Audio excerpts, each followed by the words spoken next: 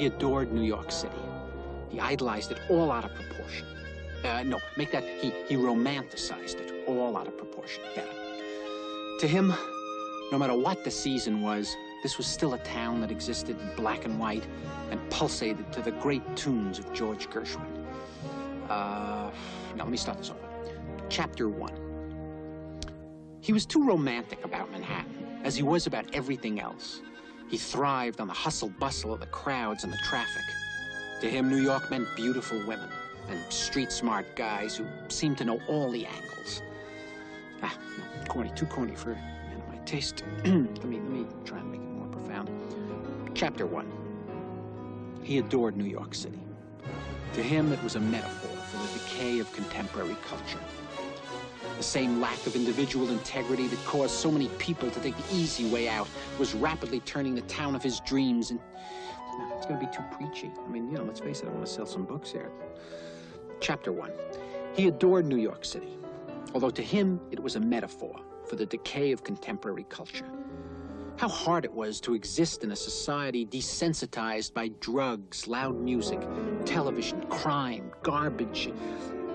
Too angry. I don't want to be angry. Chapter one. He was as tough and romantic as the city he loved. Behind his black-rimmed glasses was the coiled sexual power of a jungle cat. Oh, I love this. New York was his town, and it always would be. You're a joke maker. It's hard not to make jokes. Do you know what I mean? Like, I'm always amazed when I see somebody that can draw a horse. I can't figure out how they can possibly do it. Because, you know, they actually reproduce the horse with a pencil and paper, and it's terrific. Now, I can't draw a horse or anything else, but um, I can write jokes. And uh, it's hard not to write them. I mean, if I walk down the street, it's almost my, it's like my normal conversation, you know, it just comes out that way. Do, do you know what I mean? This is my uh, collection. This is how I'll, I'll start, and it, there's all kinds of scraps and, and things that are written on hotel things, and I'll, you know, ponder these things. I pull these out, and, I, and I'll dump them here like this. I go through this all the time, uh, and and every time I start a project, and I, and I sit here like this, and I look at, hmm, don't like that. Mm-hmm. Mm-hmm. Read me one note off of one piece of paper. A, a note here would be a, a, a man inherits the uh, all the magic tricks of a great magician. Now that's all I have there.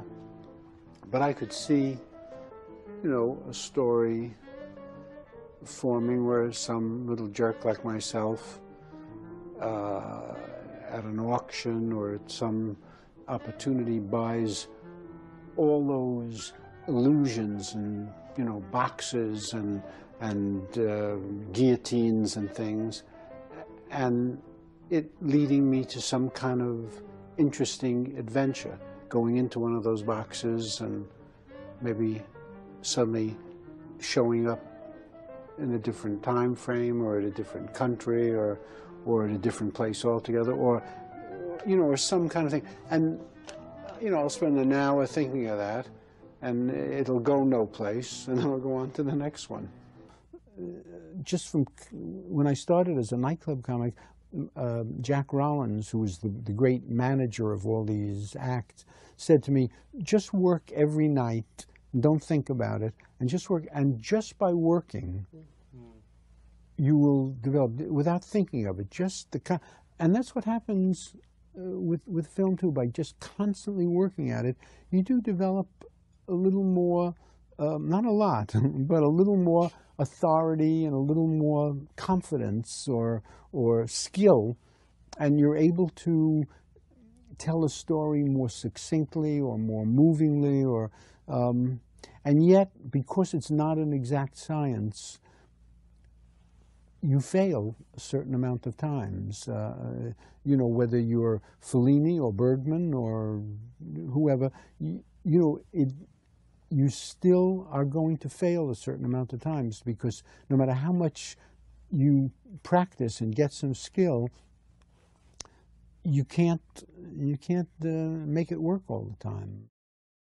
What were you trying to say in this picture? I was just trying to be funny. Do you find it very hard to direct yourself? Uh, hard? No, no. I just have to resist the temptation to give myself too many extreme close-ups. You studied filmmaking in school? No, no, no. I, I didn't study anything in school. They studied me. I understand you studied philosophy at school. Uh, no, that's not true. I, I, I did take, I took one course in existential philosophy at, uh, at New York University, and uh, on, uh, on the final, they gave me 10 questions, and uh, I couldn't answer a single one of them. You know, I left them all blank. I got 100.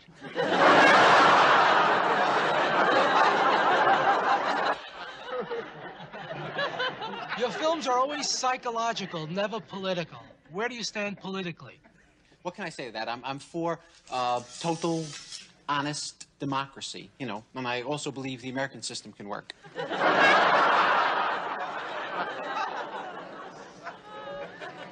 A lot of people have accused you of being narcissistic. No, I know people think that I'm egotistical and narcissistic, but it's not true. I, I, uh, I, as a matter of fact, if I did identify with a Greek mythological character, it would not be Narcissus. Who would it be? Zeus. Who is this guy, anyhow, to rewrite the end of my movie? And, and since when are, are all these guys involved? What the hell's going on? These are on? the new heads of the studio. What do you mean? Every six months I meet a new group of studio heads. It's very disconcerting to me, too, but you know, the mortality rate in this business is unbelievable. Yeah, I'll say it is. It's like the Black Plague. Jesus. And, and- wonderful. Can I have your autograph? yeah, I don't want anybody Me going too, to, to jazz heaven. That's a that's a, a nitwit idea. Uh, You know, the, the whole point of the movie is that nobody is saved. Sandy, this is an Easter film. We don't need a movie by an atheist. To, y- to you, I'm an atheist. To God, I'm the loyal opposition. Hey, Sandy, Jerry Abraham, remember me? We grew up together. Of course I, yes, miss, the other day. Of course I remember you. Why should I forget you? Well, you know, people grow up, they become big hotshots, they forget. We played stickball together, right? Yeah, we went to Hebrew school, too. Yeah, so what are you doing? What are you up to? You know what I do now? I drive a cab. You, Well, you look good. Just, there's nothing wrong with that. yeah, but look at me compared to you. I mean, those Jesus. beautiful broads. Listen, I you get know, a headache. you I'm know, a that's little great. drunk. What do you want me to say? I was, I was the kid in the neighborhood that told the jokes, right? So, Yeah. so we, you know, we live in a, in a society that puts a big value on jokes. You know, if, if think of it this way, if I had been an Apache Indian, those guys didn't need comedians at all, right? So, so I'd be out of oh, work. Oh, come on, man. That doesn't help me feel better, you know? What do you want? I don't know what to say. I got such a headache. You know, it's luck. It's all luck. I was lucky. I'm the first to admit I was a lucky bum. If I if I if I was not born in Brooklyn, if I had been born in Poland or, or Berlin, I'd be a lampshade today, right? Right. I mean, it was just could happen just like that. So you know, be thankful that you're not Nat Bernstein. Ber- yeah, Yeah, he was wasted a guy from the away. Incurable disease. It was absolutely terrible. Oh, wow. Germany loves you. Oh. Oh, Gemma? Germany. Oh, Germany. The entire, the entire country. Um, Great. A lot of people. yeah. A lot of